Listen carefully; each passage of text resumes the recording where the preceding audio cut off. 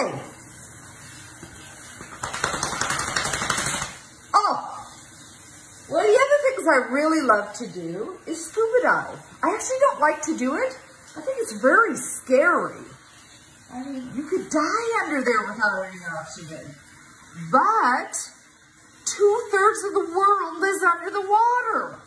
I can't imagine not seeing what's A scuba diver, if you didn't know.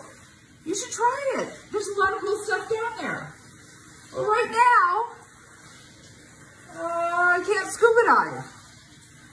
But I can give my uh, dog Agnes a shower. Hey, baby. Hi. It's a good dog. Yes. Good girl. Treat, treat. Yes. Kissy.